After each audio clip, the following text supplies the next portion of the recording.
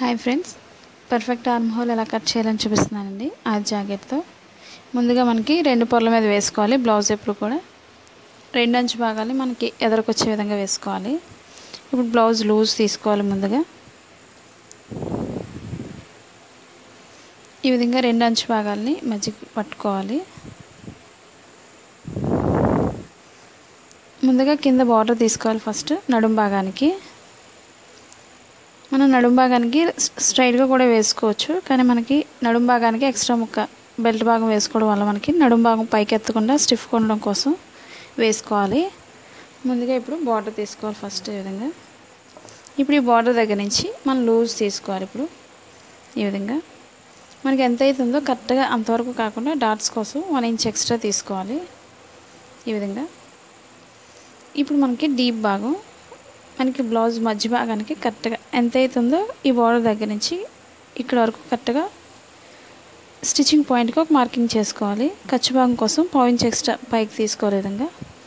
ఇప్పుడు డీప్ భాగం దగ్గర నుంచి పట్టుకొని మనం పైన షోల్డర్ దగ్గర కరెక్ట్గా లూజ్ ఎంత అవుతుందో కరెక్ట్గా లూజ్ భాగానికి వేసుకోవాలి. మనకి షోల్డర్ దగ్గర జారకుండా ఉండడానికి ఈ విధంగా పట్టుకున్నట్లయితే మనకి కరెక్ట్గా వస్తుంది. లూజ్ ఎంత అవుతుందో అక్కడ వరకు ఒక మార్క్ చేసుకోవాలి. పాయింట్స్ ఎక్స్ట్రా ఈ విధంగా బయటికి తీసుకోవాలి మనం. ఇప్పుడు షోల్డర్ దగ్గర పొడవు స్టిచ్చింగ్ పాయింట్కి ఒక మార్క్ చేసుకోవాలి ఈ విధంగా. ఖర్చు భాగం ఎంత అవుతుందో ఖర్చు భాగానికి ఈ విధంగా ఒక మార్క్ చేసుకోవాలి. మనకి షోల్డర్ దగ్గర స్టిచ్చింగ్ పాయింట్కి ఒక మార్కింగ్ ఖర్చు భాగానికి ఒక మార్క్ చేసుకోవాలి ఈ విధంగా.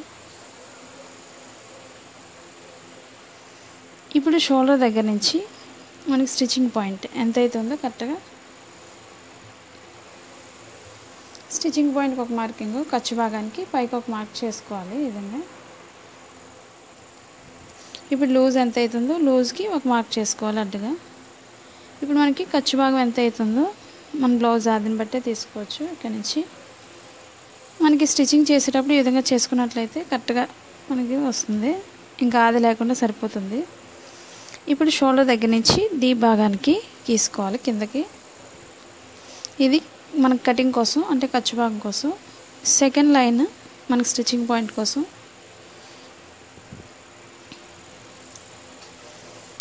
ఇప్పుడు మెడ భాగానికి లూజ్ తీసుకోవాలి ఈ విధంగా. ఇప్పుడు షోల్డర్ దగ్గర నుంచి చంక భాగానికి కిందకి తీసుకోవాలి మెజర్మెంట్ కిందకి.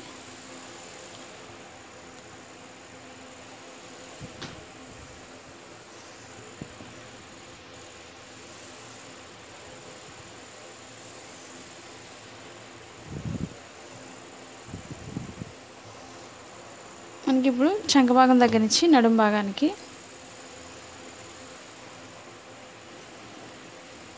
మనకి ప్లెయిన్ బ్లౌజ్ కాటన్ బ్లౌజ్ అయితే మాత్రం లాగుతుంది కాబట్టి కొంచెం ఎక్స్ట్రా పెంచుకోవచ్చు. లేదా సిల్క్ బ్లౌజ్ అయితే మాత్రం కరెక్ట్గా ఎంత ఎంత ఉందో అంతవరకు పెట్టుకోవచ్చు. ఇప్పుడు చంక భాగానికి మనం వన్ అండ్ హాఫ్ ఇంచ్ లోతు తీసుకోవాలి ఈ కార్నర్లో. ఈ విధంగా పైకి. ఇప్పుడు మనకి షోల్డర్ దగ్గర నుంచి కిందకి డౌన్ చేసుకుంటూ లోతు బాగానే మనకి రౌండ్ వచ్చేసరికి ఈ రౌండ్లో మనకి రౌండ్ చేసుకోవాలి. ఇక్కడ మన స్టిచ్చింగ్ పాయింట్కి కలిసే విధంగా ఈ విధంగా తీసుకోవాలి మెజర్మెంట్.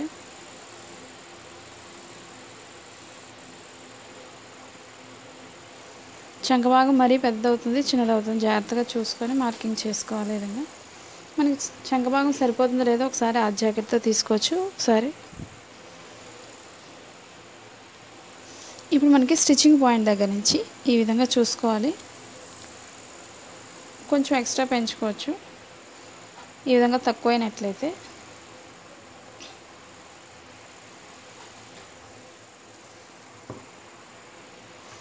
కటింగ్ చేయకముందు ఈ విధంగా చూసుకున్నట్లయితే మనకి కరెక్ట్గా వస్తుంది.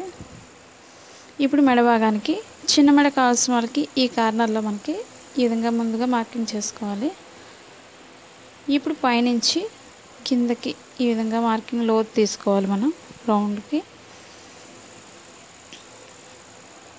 అదే మనకి చిన్న పెద్ద మెడ కావాల్సిన వాళ్ళకి కొంచెం కింద నుంచి తీసుకోవచ్చు ఈ విధంగా.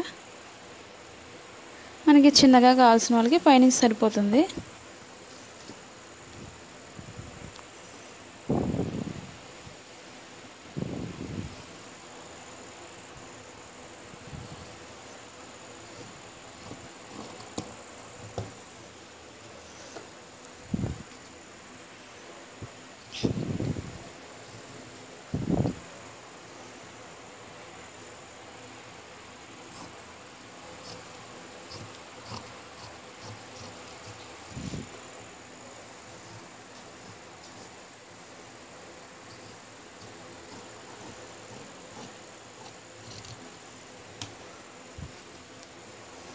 ఇప్పుడు మనం బెల్ట్ భాగం దగ్గర అటాచ్మెంట్ చేసే దగ్గర కొంచెం కట్ చేసుకోవాలి.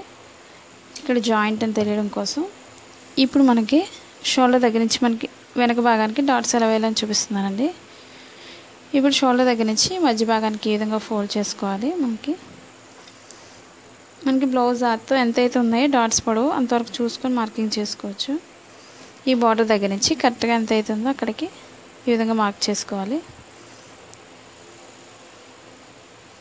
అనేది సన్నగానే వేసుకోవచ్చు. డాట్స్ బాగా వెనక లూజ్ అనిపిస్తే మాత్రం తర్వాత కొంచెం టైట్ చేసుకోవచ్చు ఈ భాగాన్ని. ఇప్పుడు ఇదే వెనక భాగంతో మనకి ఫ్రంట్ పార్ట్ తీసుకోవాలి. అది కూడా నడుము భాగం దగ్గర నుంచి కిందకి ఒక టూ ఇంచెస్ ఉండే విధంగా లేదా వన్ అండ్ హాఫ్ ఇంచ్ ఉండే విధంగా మనం ఈ విధంగా ఫోల్డ్ చేసుకోవాలి ముందు. మన ఫ్రంట్ పార్ట్కి ఎప్పుడు కూడా ఉక్సుల భాగంతో తీసుకోవాలి మెజర్మెంట్ ఇప్పుడు షోల్డర్ పైనుంచి ఖర్చు భాగం దగ్గర నుంచి మనం మధ్య భాగానికి ఈ విధంగా ఫోల్డ్ చేసుకోవాలి. ముందు ఇప్పుడు కింద డాట్కి ఎంతైతే పొడవు ఉందో కరెక్ట్గా సాగదీయకుండా ఈ విధంగా చూసుకోవాలి ముందు.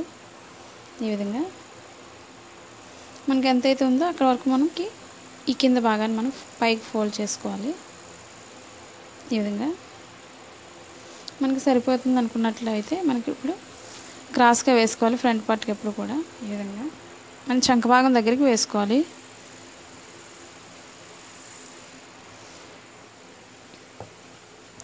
ఇప్పుడు మనం దీని చుట్టూ కూడా మార్కింగ్ చేసుకోవాలి విధంగా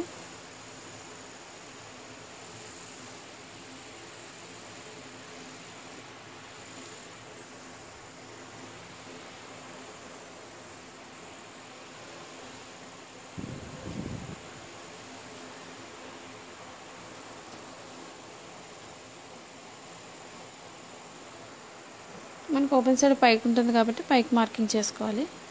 మన షోల్డర్ దగ్గర స్టిచ్చింగ్ పాయింట్కి మెడభాగం దగ్గర ఒక మార్కింగ్ చేసుకోవాలి. మనకి కార్నర్లో చంక భాగం కార్నర్కి మనకి ఒక మార్కింగ్ చేసుకోవాలి ఈ విధంగా.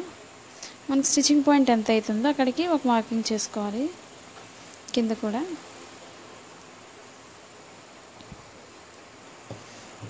ఇప్పుడు నడుము భాగం అది లూజు.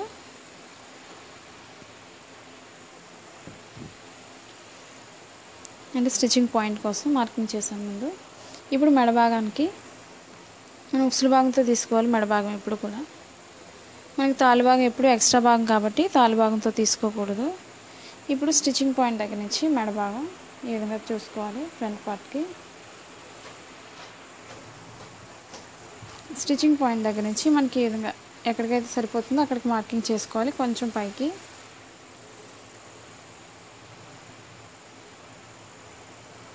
మనం ఇప్పుడు స్టిచ్చింగ్ పాయింట్ దగ్గర నుంచి కొంచెం లోతు తీసుకుంటూ ఈ విధంగా ఇక్కడికి వచ్చేసరికి రౌండ్ చేసుకోవాలి కిందకి ఈ విధంగా. మనకి సరిపోతుందో లేదో మెడభాగం చూసుకోవాలి ఒకసారి. స్టిచ్చింగ్ పాయింట్ దగ్గర నుంచి ఈ విధంగా సరిపోతుంది కరెక్ట్గా మనకి. ఇప్పుడు కొంచెం మిగిలినట్లయితే కిందకి స్టిచ్చింగ్ పాయింట్ మార్క్ చేస్తే సరిపోతుంది. ఇప్పుడు ఓపెన్ సైడ్ నుంచి స్టిచ్చింగ్ పాయింట్ దగ్గర నుంచి మధ్యలో డాట్ కోసం కింద ఖర్చు భాగం కోసం మనం వన్ ఇంచ్ ఎక్స్ట్రా తీసుకోవాలి కిందకి. ఇక్కడికి. ఇప్పుడు మనకి షోల్డర్ దగ్గర నుంచి మధ్య భాగం తీసుకొని విధంగా కింద డాట్కి ఈ విధంగా మనం మార్కింగ్ చేసిన షోల్డర్ మధ్య భాగంలోనికి వేసుకోవాలి ఈ విధంగా. ఇంకెక్కడికైతే వస్తుందో అక్కడికి ముందు లోతు భాగానికి మార్క్ చేసుకోవాలి. మనకి సన్నగా ఉండాలికి అయితే పైన సరిపోతుంది మార్కింగ్ ఎప్పుడు కూడా. లావు మాత్రం కొంచెం కింద నుంచి తీసుకోవాలి మార్కింగ్. మనకి నడుం భాగంకి వచ్చేసరికి కొంచెం లోతు భాగాన్ని పైకి వేసుకోవాలి ఈ విధంగా మార్కింగ్ ఎప్పుడు కూడా. ఇంకా సేమ్ అందంతా కూడా మనం ఈ విధంగానే ఉంచుకొని కట్ చేసుకోవాలి.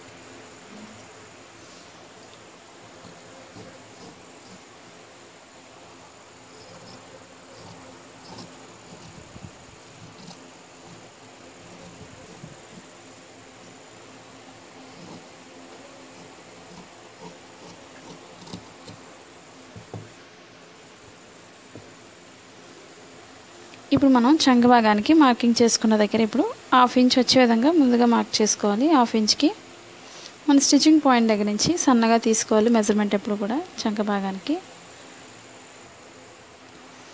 ఈ విధంగా చంక భాగానికి లోతు తీసుకున్నట్లయితే మనకి పర్ఫెక్ట్గా వస్తుంది. చంకభాగం ముడతలు రాకుండా ఉండడం కోసం ఈ విధంగా తీసుకోవాలి.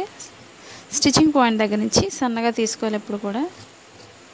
ఈ కార్నర్లో హాఫ్ ఇంచ్ వచ్చే విధంగా తీసుకోవాలి మార్కింగ్. పైకి వెళ్ళేసరికి ఈ విధంగా సన్నగా తీసుకున్నట్లయితే మనకి చంక ముడతలు రాకుండా ఉంటుంది. మనకి స్టిచ్చింగ్ పాయింట్ దగ్గర కొంచెం కట్ చేసుకోవాలి.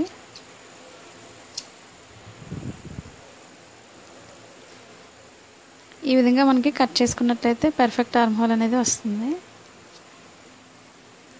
ఈ వీడియో మీకు నచ్చినట్లయితే లైక్ చేయండి షేర్ చేయండి సబ్స్క్రైబ్ చేయండి.